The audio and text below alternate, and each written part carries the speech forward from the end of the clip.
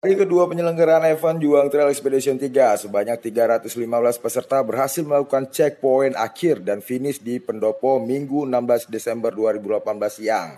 Trajektori ketiga yaitu pengundian door prize utama 3 unit sepeda motor Penarikan undian oleh Kapolres Biren AKBP Gugun Hardi Gunawan jatuh kepada peserta dari Loksukun, dilanjutkan oleh Wakapolda Aceh Brigjen Pol Supriyanto Tarah jatuh kepada peserta dari Aceh Tamiang, dan selanjutnya penarikan undian oleh Bupati Biren Haji Stefanur Esos yang didampingi Ketua Birot Community Farizal Fakisku jatuh kepada peserta dari Aceh Timur. Juga dirangkai dengan penyerahan plakat kepada Ketua Komunitas dan kegiatan diakhiri dengan foto bersama dengan seluruh peserta. Demikian Aceh Info melaporkan.